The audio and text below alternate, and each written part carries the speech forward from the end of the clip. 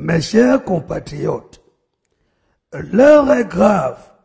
Le monde est sous pression. Les morts ne se comptent plus. Les victimes du Covid-19 se multiplient minute après minute.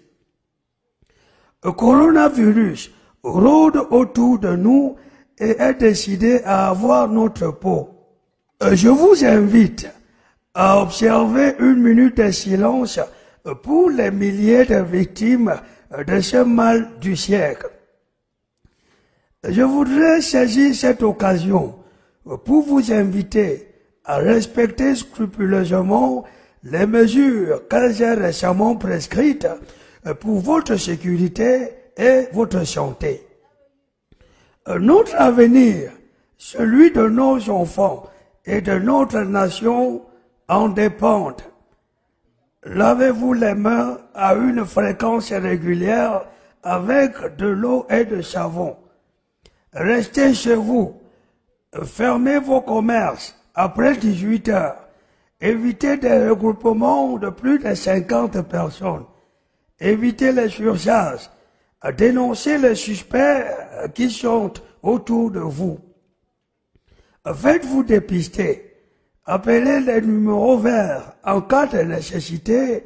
Engagez-vous autour du gouvernement dans la sensibilisation et l'éducation sur les méthodes préventives au Covid-19. Le coronavirus tue sans pitié. Il tue les blancs, il tue les noirs, il tue les vieux et les jeunes.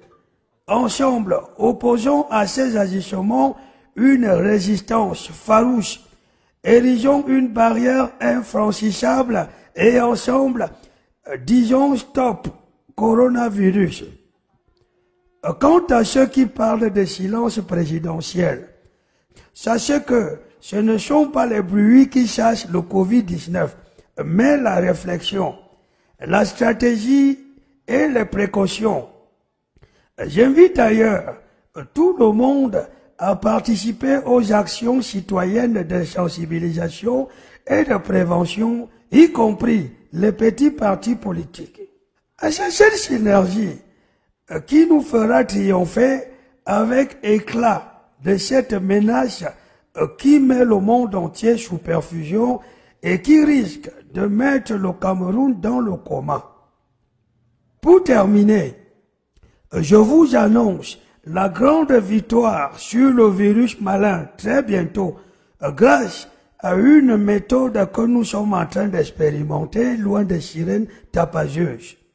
Vive les entreprises citoyennes, vive les ONG, les associations, les particuliers, vive les familles et les citoyens modèles engagés dans ce dur combat et qui participeront sûrement au fonds de solidarité que j'ai initié pour barrer la voie à cette pandémie. Malgré mes tweets, mes messages Facebook, mes SMS, mes messages WhatsApp, vous vouliez entendre ma belle voix, j'ai donc parlé. Vive les membres du gouvernement, vive le ministre de la Santé publique pour ses efforts incessants, vive la diaspora camerounaise, vive ma chérie Chantou et ma fille Brenda, vive moi-même, vive le Cameroun, je vous en remercie.